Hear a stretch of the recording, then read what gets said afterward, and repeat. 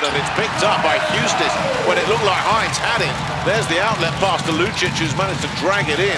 Houston gets inside Bolomboy, who swats it away brilliantly. That's huge from Bolomboy. His second block, and it's a big one. Djedovic's pass to Lucic was beautiful. Lucic looked like he'd done it all, and then Bolomboy said, ah, ah,